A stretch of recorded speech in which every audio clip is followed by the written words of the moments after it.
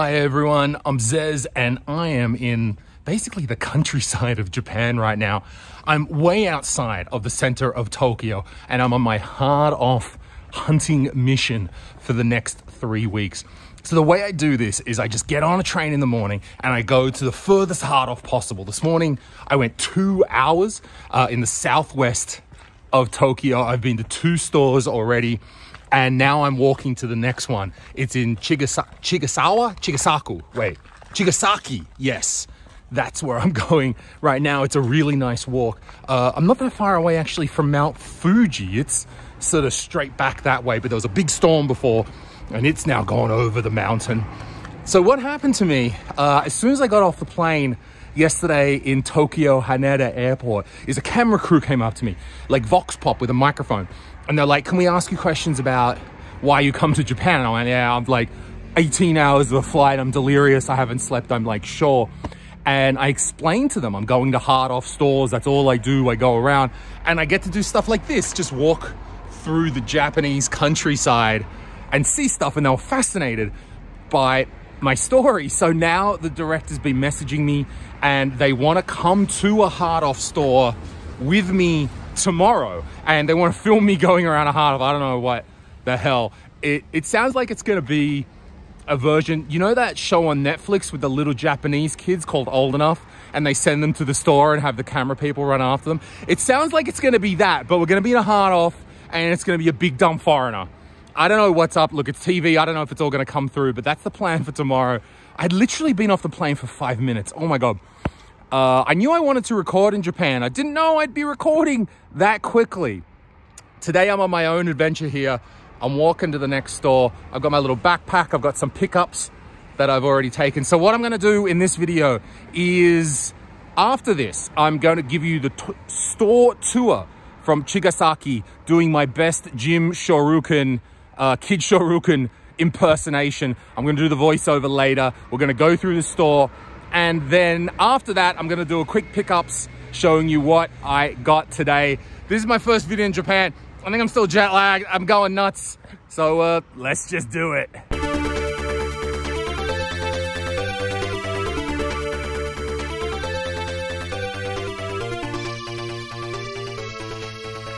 Here we are at Hard Off Chigasaki. I've been here three or four times before. Like, never a place that I think, like, oh, I got that golden thing, but always something good.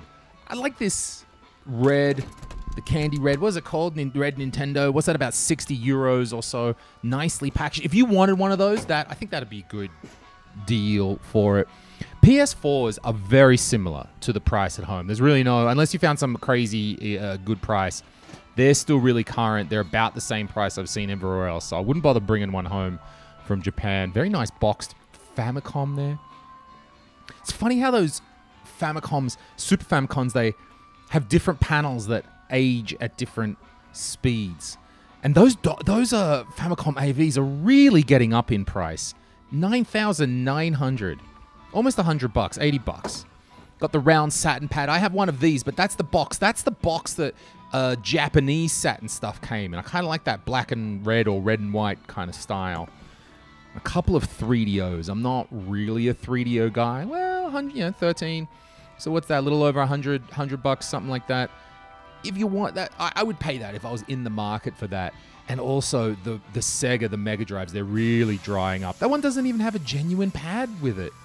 Uh, Saturn as well. They've always been a little bit more. I mean, that's what Hard Off does. They'll put like a few good ones on the shelf, but you go out to the junk pile, you'll find a few more. I like this hefty bad boy, Rap 4 PS4. It's got the Hayabusa gear inside of it. That was the that's the buttons that when Hori didn't want to pay Sanwa, I guess, so they just put their own copycat buttons in instead. Moving to out the back, we've got the junk section. What is this? It looks like a microwave, but it's a CRT. Hey, there I am. But there's a weird camera. Is that a camera? Off some sort of camera there? And but then that thing Wait, that thing that flips out, see, check it out. That's a mirror. That's not see-through. I have no idea what this thing is, but it's big and heavy, and there's not many CRTs at Hard Off in general. Look at this. Mr. Nello. It was called something like this. So it's Sony. It's a CRT. Mr. Nello. What the hell is this thing? Desi- I mean, looks cool as hell. If it 30% off, I guess it doesn't work. This is something I should buy and ship over to Steve from Retro Tech.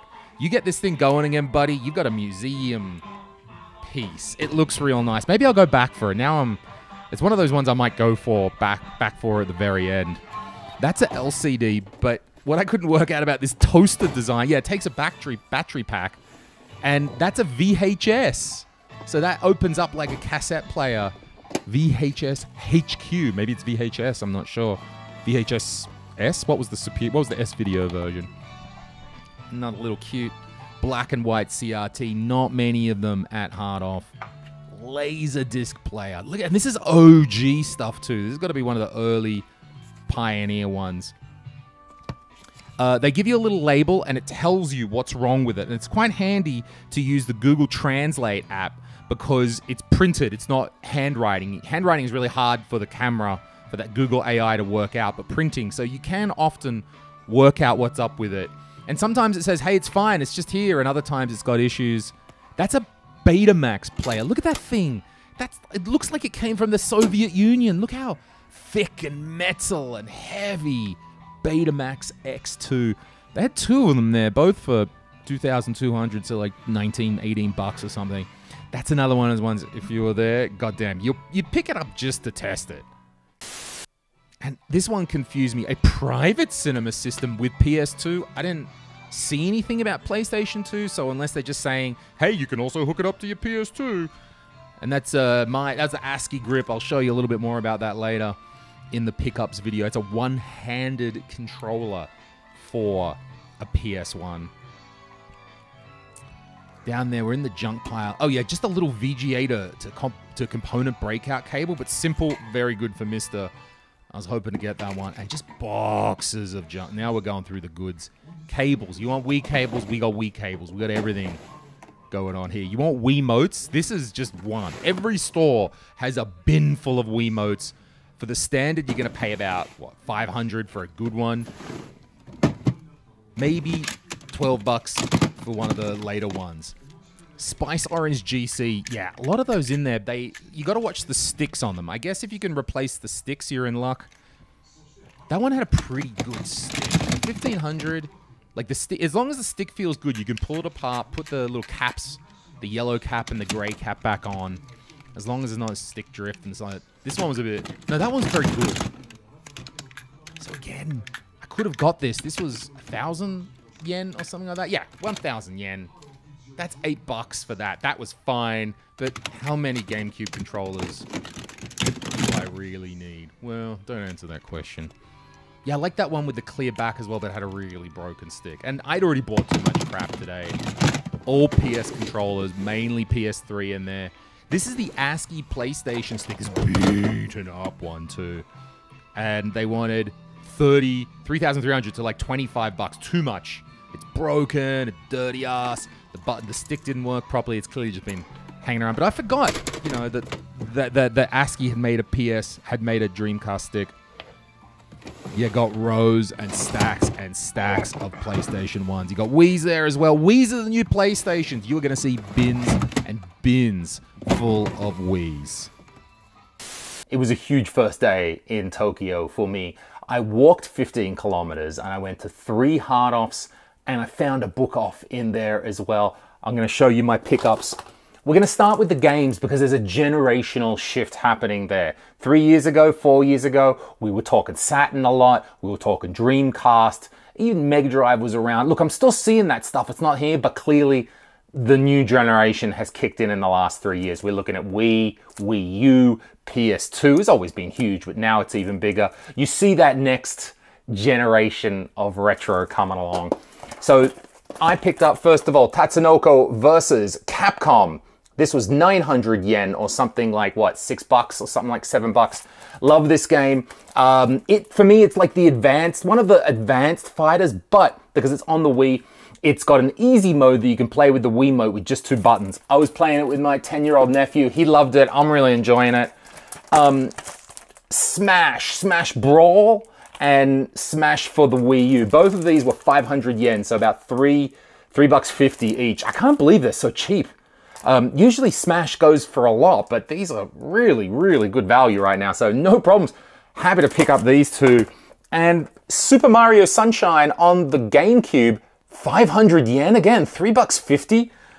I know Mario is pretty common, but wow, to get three bucks 50 for Super Mario Sunshine, look, I like it. All right, few of the controllers that I got. Your standard PS3, these are really common these days. They're everywhere. This is 800 yen. Look, I don't think even in the junk bin there's that much wrong with them. I think there's so many of them that they're just putting them there. Uh, I'm going to stock up a few more of these, these six axis ones, uh, DualShock 3 before I go home. They're good. Got the one handed uh, ASCII grip controller. So it's a PS1 controller and you can play it with one hand. A lot of people have talked about this. This one's a little yellowed, was only 500 yen, 350 dollars. So why not? If I find another one that's a good price, um, I think I will if it's not yellowed, but I'm gonna pick it up anyway. Hori GC controller. This is in the junk bin as well, and I know why. See, there's no cap on that. That's come off. This button the B button is down pressed and the buttons are sticky and that cap is, I reckon this will clean up well. This should cost a lot more. This should cost 20 or 30 bucks or something. And I think all I'm gonna need to do is open it up, clean it out, probably replace that cap, but I can keep the stick. The stick underneath is good. Both sticks are good. So that was a bargain. I don't know how much that was, a couple of bucks. That was a bargain. Gun Con 2. You can use this with your MiSTer now because this is the second Gun Con. It's got the USB and support was added to the MiSTer FPGA not long ago. I've been looking for one of these. If you want to import it, it's 30 bucks or something like that. Here, this was 500 yen, 350 for that. I'm a big fan. I've got mini discs at home and cassettes, so I've been buying up the mini discs. Got a pack of 12 there and also a few singles. Singles go for 300 yen or about $2 each here, so I'm gonna fill, get my fill of those.